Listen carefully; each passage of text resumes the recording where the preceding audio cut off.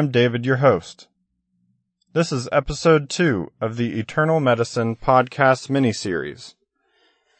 This show is made in association with the Adventist Medical Evangelism Network, or AMEN, an organization for all medical professionals that will support you in integrating your faith into your medical field practice. Membership benefits include a subscription to the Medical Evangelist, a journal about the spiritual aspects of medical work. You can visit www.amensda.org,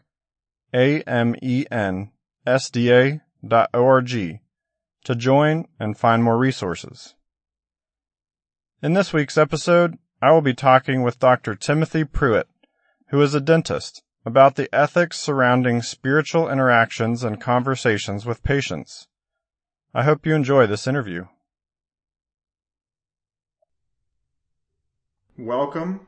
I'll start off by having you introduce yourself. If you could just give me your name and your education and your experience. Sure.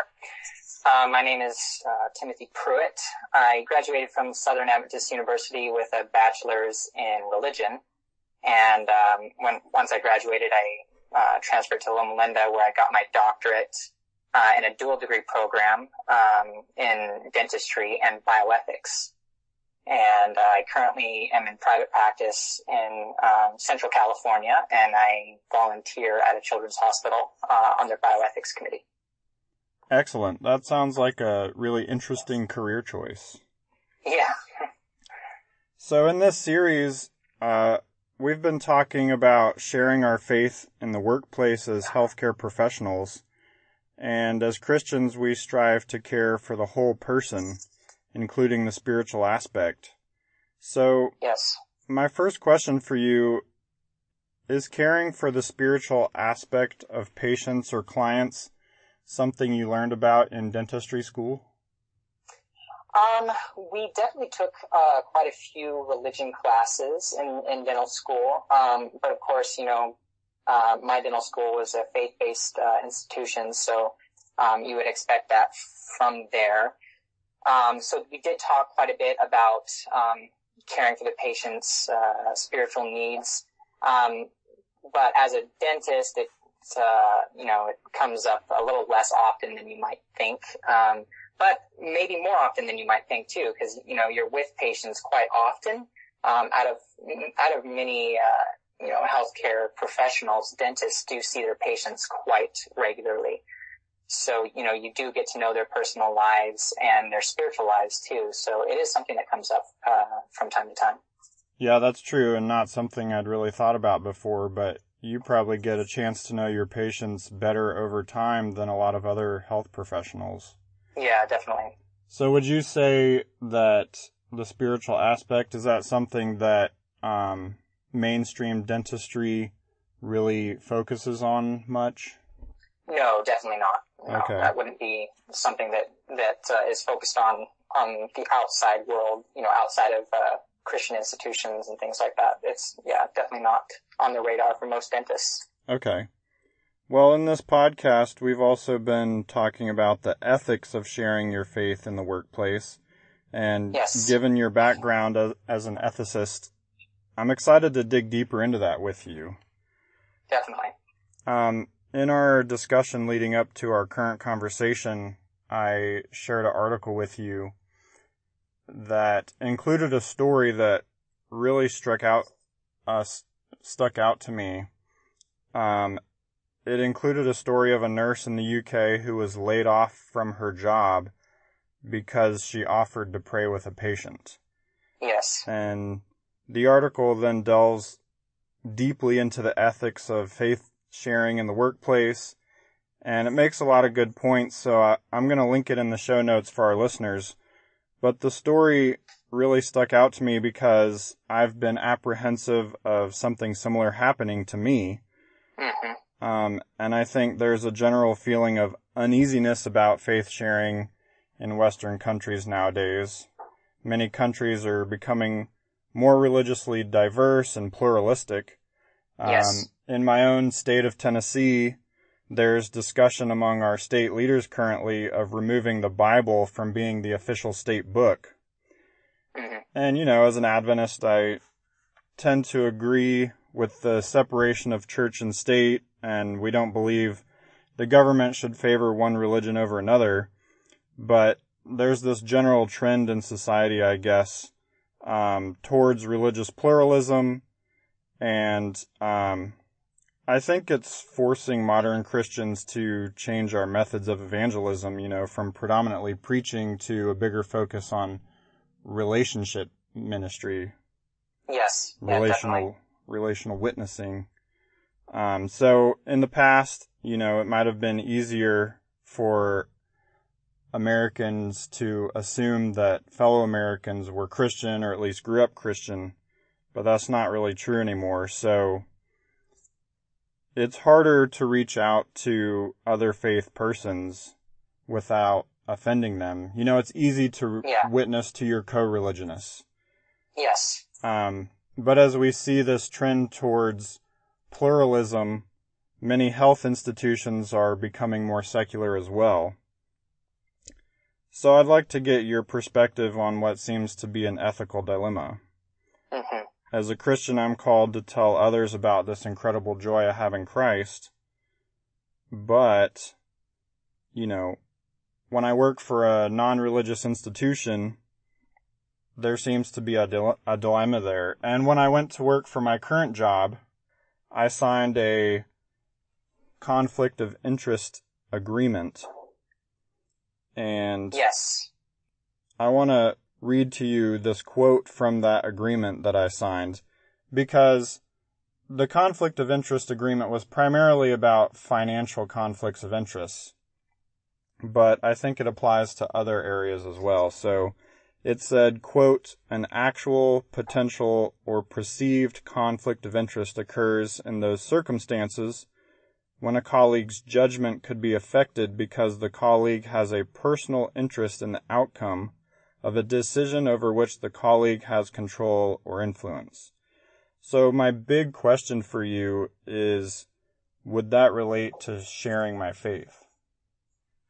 Yeah, that's a that's a great question, and I think that the answer is probably yes. Um, you know, normally, you know, as Christians, we don't really see things that way, but from an outside uh, perspective, you know, we don't look at it and say, "Oh, yeah, you know, I definitely have a a drive or a, an interest in in the outcome of this interaction with my patient." You know, it's more like, you know, what we think that we have the best interest in mind for the patient, and that um, the best outcome for them would be to become followers of Jesus and and to uh, have a relationship with Him.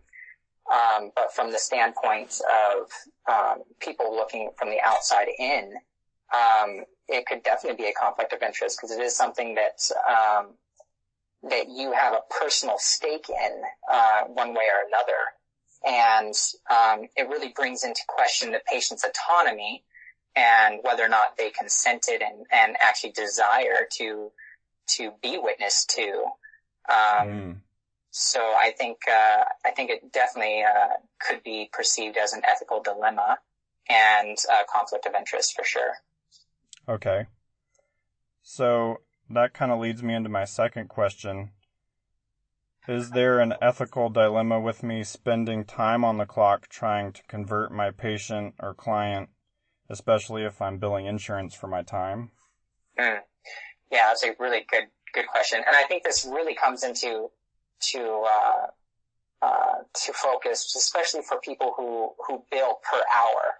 You know, when you're dealing with uh, um, counseling or um, you know things like that, uh, psychology and, and and pursuits like that, where you're actually billing per hour, uh, you know, spent with the patient. Sure. Um, so that could definitely become an issue. Uh, in dentistry, uh, you know, we don't really look at things that way because we're not billing per hour. We bill per procedure Okay. and we have a captive audience for, you know, an hour, or an hour and a half at a time. And the patient has to basically sit there while we talk and, you know, discuss things with them. And they can't and they talk can't- back. Yeah, they can't really talk back, so we can talk about whatever we want to them. Uh, and we're not really billing for our time, so it, it could per- be perceived that we don't have a conflict of interest there or that, uh, that, you know, uh, that we're not actually billing for sharing our faith. Sure. Um, but uh, it does um, does bring into into play the four principles of biomedical ethics, um, which are um, autonomy, respect for a patient's right to choose, uh, beneficence to act in the best interest of the patient, um, non-maleficence to do no harm or to promote good, uh, more good than harm, and justice to be fairly to fairly distribute resources to patients. Um, and I think the one that we're really focused on here in the four principles of biomedical ethics is autonomy. Okay. Um, whether or not the patient, uh, you know, requested or or desires to to be shared with or to discuss uh, religion and their their relationship with God and um, and your faith. Um, so yeah, I think there there definitely can be a uh, a an ethical issue um, when it comes to to billing your time to share your faith. But it might not be so much of a of the time spent on on sharing the faith, but uh, especially for hospital based um, employees hmm or or professionals. Um, more so uh, an ethical dilemma when it comes to the patient's uh, autonomy and right to choose. I see. Um, I think that's the the biggest issue there. so trying to let the patient, you know, kind of dictate the direction of the time is Yes. is of utmost importance. Yes, exactly. And yeah, and I, and you know, but as Christians, you know, we, we feel like we have a duty um, as Christians to share our faith, and I think that that duty is definitely um, valid and uh, something that that we have to learn to balance with our careers. Um, you know, if uh, if if anyone went to uh, to Southern and, and took a, a religion class by Dr. Samaan um, in the religion department, uh, there was kind of a joke going on at that time that uh, all of Dr. Samaan's classes were basically exactly the same. Um, he had like six different classes and seven different books, and all of them said exactly the same thing. Uh, so you could take, you know, you could take three different classes and get get three three different uh, uh, uh, credits for the classes, but uh, basically be tested on all the same material. so it was, it was kind of fun. But one of the things that that he drove home was um, the Christ method for reaching people, and um, and there was five, yeah, five uh, five methods or five um, uh, points that Christ used to reach people. Um, he interacted with people as one who desired their good. Uh, he sympathized with them uh, and their needs. Uh, he strove to met their needs and and the needs of those people around him. Uh, he won their friendship and trust, and then he invited them to follow him and have a life changing relationship with him. Um, and I, I think that that if we employ that into our own interactions with people, I think we'll realize that that the that the process of winning a soul to the kingdom is much more complex than we like to think. You know, we like to Yeah. to skip from point A to point E, Mm. where you know we we interact with people and then we lead them to a knowledge and life changing relationship with Jesus. But we skip all of those in between steps of of Wow. winning their trust, um, meeting their needs, uh, and and just mingling with people as as just a person who wants good for them. And we Huh. skip all those steps and we, we really want to get to that point where we introduce them to a life changing relationship with Jesus. And it's not always that fast, you know, it's, Yeah. it's often, and we might not be the ones to actually get them to, to point E. Sure. uh, we we just want to get to the most exciting part, I guess. E- Exactly. Yeah. We, we often strive to get to that, to that high where, you know, we felt like we had such a high, um, spiritual experience with the patient. Sure. Yeah. Um, and I think what it really comes down to is are we are we witnessing um, for the best interest of the patient, or are we witnessing for our own spiritual enlightenment? Um, I think that's a difficult, you know, difficult uh, question to discern sometimes. Yeah, but that's a Um, really enlightening point that you're making. Yeah. Uh, but yeah, I, I think it it's hard though. It's it's a different difficult uh, concept to, to really address sometimes. Sure. I really um, like Dr. Samaan. I'm actually reading his book right now. I think it's called Christ's Method Alone. Oh yes. Mm-hmm. Um, I'll I'll link it in the show notes for our listeners. But I never had the chance to take a class from Dr. Samaan when I was at Southern, but I have um, had the privilege of hearing him speak, and this is his second book that I'm reading now. So he has a lot of really good stuff to say. Yeah, definitely. So another question I've had um, when it comes to ethics is what ethical problems arise when I use my position of authority or the access my job gives m- me to patients or clients to direct them towards my specific church. Hmm. Yeah, that's uh, really difficult, especially you know as a as a medical professional, you are automatically given um, respect and trust by the patient. So it definitely, you know, we, you know, it, when discussing that that Christ method of reaching people, um, we skip to winning their confidence, which is um, uh, you know, step four of that whole five step process. We, uh, as, as healthcare providers, we automatically skip to step number four, which is winning their trust. And, uh, we, we have their trust and their confidence going in. Um, yeah. So we are in a position of, of, of power often. And oftentimes in a healthcare setting, we're dealing with highly stressful, highly emotional, um, times in the patient's life and highly emotionally charged conversations uh, often, and um, the patient uh, is receptive often. So it, it could be viewed as a good time to witness, but also we have to understand that the patient is highly vulnerable as well, and um, we have a duty to the patient to respect that vulnerability and to realize that um, that we have an unfair advantage when we are discussing, uh, you know, uh, our faith with them. Sure. Um, I think that uh, that what it really comes down to is uh, consent and autonomy.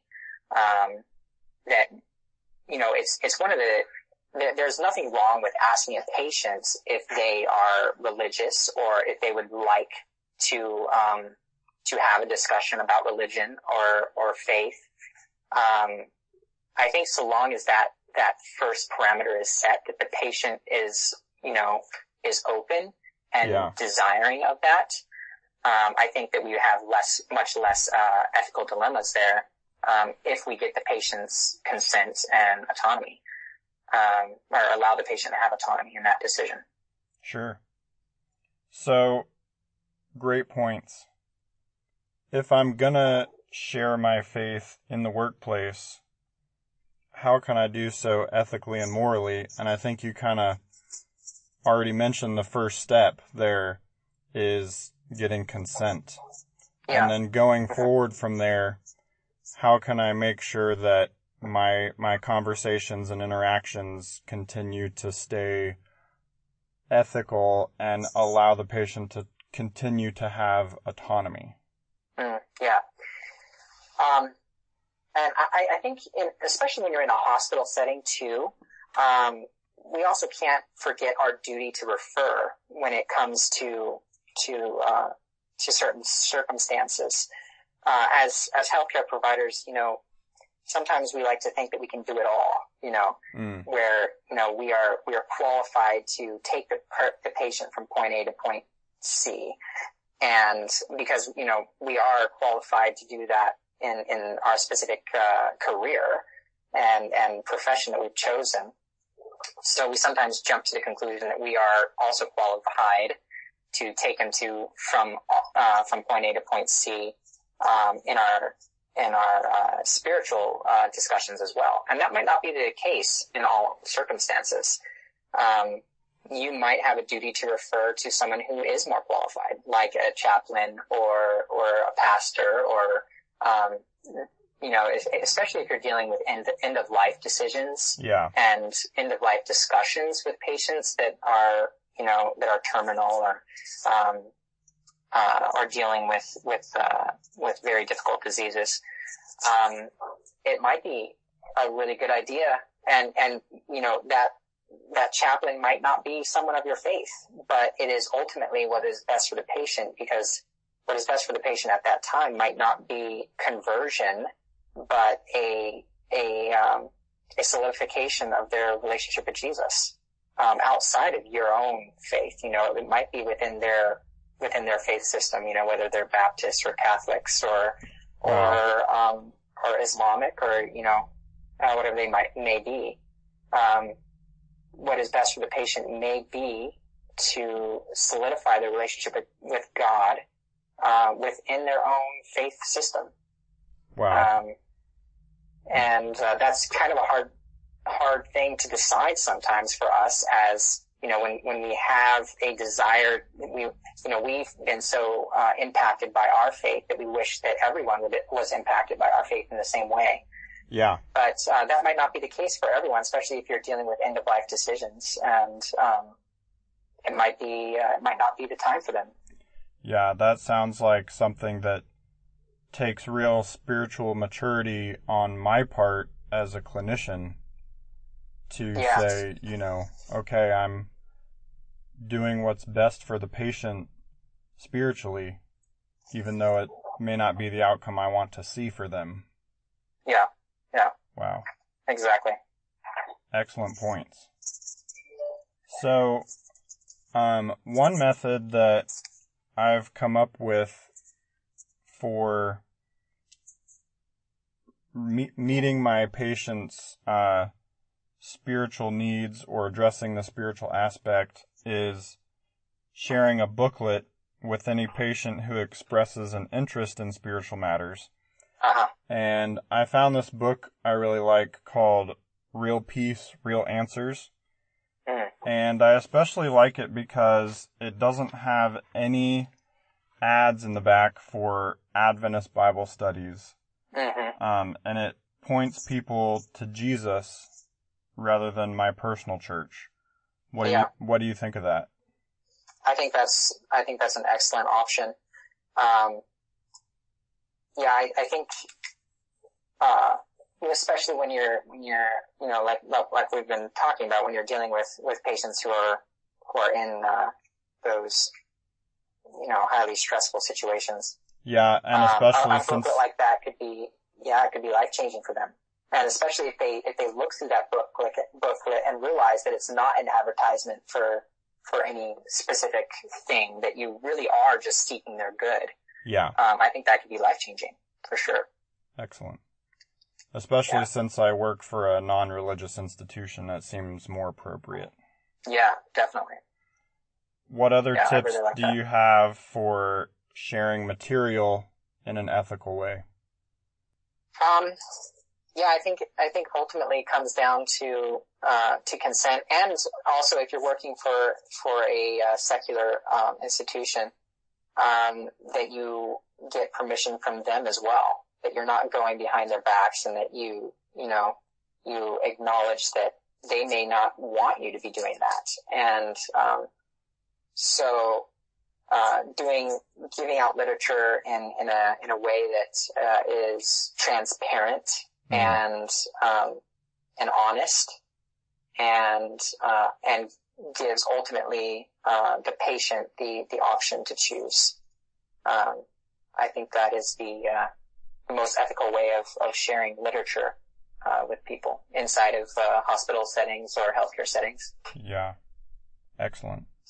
um, as if you if you happen to own your own practice, as you know, um, most dentists do, or um, you know, some some medical providers, um, having uh, displayed literature literature that people can actually take free um, at, at will, you know, Yeah.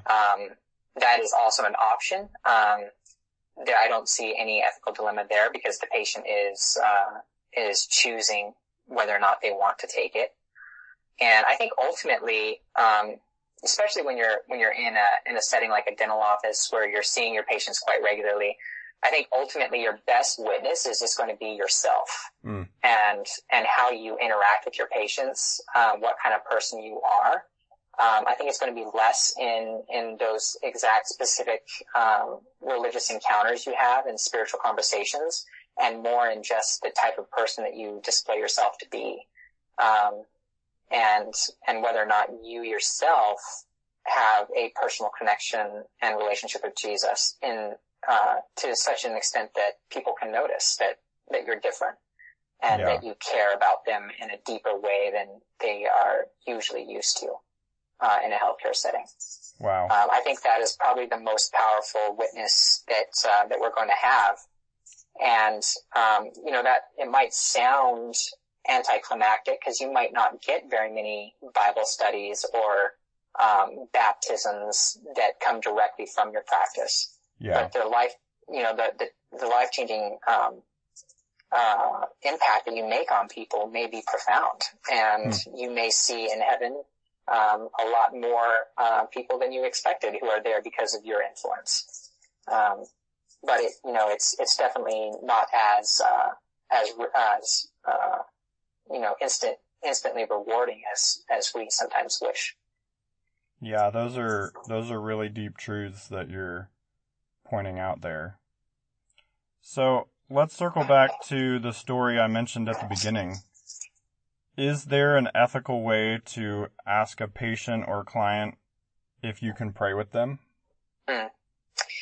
Yeah, you know, I, I, I did have one experience um, like this in dental school. Um, I had a, a, a patient, and actually on our on our uh, new patient forums in dental school, um, we actually had a question uh, on on faith and if the patient um, was uh, was religious and if they would be willing or interested in someone talking to them about um, about uh, their faith. Um, so it actually made it really easy because patients can select yes or no. Um, oh, so I happened to have a patient who had checked yes and um, had indicated that she was very spiritual. Uh, she was not Adventist, um, and I had to do um, uh, several extractions on her for one day, and she was extremely nervous, very scared. yeah. And because I had that information on hand and I knew that she was religious and that she would appreciate it, um, I asked her if she would be, if she uh, would like me to pray with her before her her um, procedure because she was very nervous and um, her blood pressure was elevated and she was just, you know, very scared. And uh, so I offered to pray with her, and uh, she agreed, and um, and so I, we prayed with her right there in clinic, and uh, a a younger student was assisting me with that day, and um, he thought it was very awkward because I don't think he was Adventist or anything. so it was uh, it was kind of an interesting uh, experience for for everyone in the room. But the patient uh, was very appreciative, and she calmed down. We were able to do the extractions. wow. Um, so I think I think ultimately it, it comes down to that uh, to that how much do you know about the patient Okay. and and uh, do you know that they would that would be something that would actually be comforting to them. Yeah. Uh, for some patients, it, it may actually be distressing for you to to, to ask that question, or uh, you know, it, it might be uh, might be alarming to them. I so it really that. depends on the on the patient and and what they've indicated to you and how much of a relationship you already have with that patient. Uh, whether it's been a relationship that you've developed over time or if you just met this patient and just had an emotionally challenging conversation, uh, and you may feel like you're ready to, that, you know, to go that next step in your relationship and pray with them, but they might not feel the same way. And, um, I think it's really important to be, uh, a, you know, uh, as as wise as a serpent as an, and as harmless as, as a dove, as they would say, you know, Yeah. to to really uh, evaluate your your relationship with the patient and how much you actually know uh, about them and whether or not they would actually appreciate that. So it seems like uh, interpersonal skills and being able to assess, you know, where your patient's at emotionally and spiritually is a really good skill set to develop Yeah, yeah, definitely.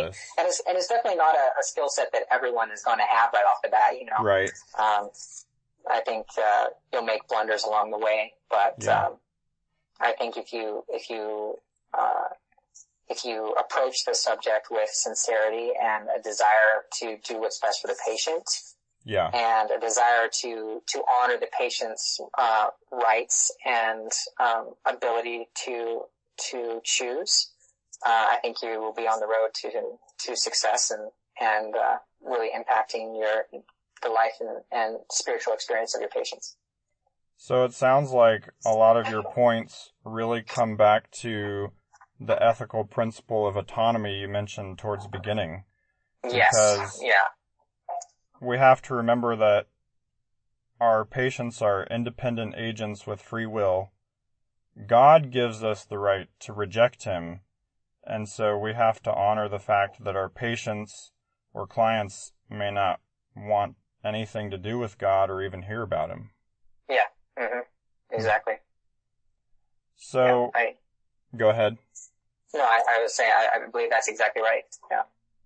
Okay. So, what are some methods that dentists in particular could use to meet the spiritual needs of their clients? Anything you want to add alongside what you've already shared?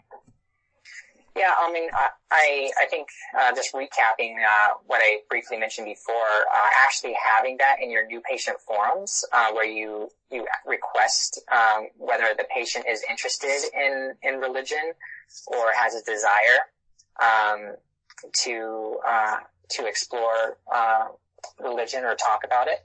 Um, I think that's a, a great start for any, any, uh, private office anyway Yeah. um, and having liter- uh, literature in the in the waiting room um, that patients can take of their own free will.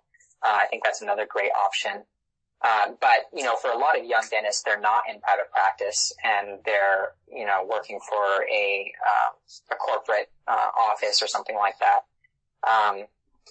Ultimately, I think it's just uh, getting to know your patients very well and having those conversations with them uh, which can be challenging sometimes, um, especially in a corporate setting because you're you're pushed uh, pretty hard to uh, to produce. So you might not have a whole lot of time with your patients. Right. So when it when it comes to um, to getting to know your patients, it might be rather difficult, and you may never get to that point where you actually uh, the patient feels comfortable with you enough to discuss their religious uh, beliefs or practices. Um, Sure. so ultimately, it may come down to just how you interact with that patient and uh, your own personal witness and your and your relationship with them, and uh, the way that you treat them, and, and the way that you treat your staff and, and those around you. Great advice. And especially getting to know your patients and and remembering details about them from one visit to another. Yeah, Maybe even to the point that you keep a couple notes on them so you can remember. Yeah, definitely. time It's, they it's definitely a, a good life hack to um, to write down what you talked about at your last visit uh, Huh. in your in your treatment note, um, so that you you can pull it up and you you remember what you talked about at your last visit. Yeah, Um, definitely builds rapport with patients for sure. because I know I only see my dentist once every six months, and I know they see Yeah. a lot of patients in between there. Yeah, yeah, exactly. Yeah. Well, thank you so much for sharing your wisdom and your experience and for all this great advice. I think it's been a very enlightening discussion. Yeah, it's great. I was, it's an honor to to join your podcast here and discuss this. I'm uh, very very honored. Thank you. Hey, it's David again. If you enjoyed this episode, please share it with someone who might also enjoy it. Be sure to subscribe so you will be notified of future episodes. Also, see the show notes for more resources. Next episode, I will sit down and talk with two nurses. Thanks for listening, and remember to keep serving, keep healing, keep praying.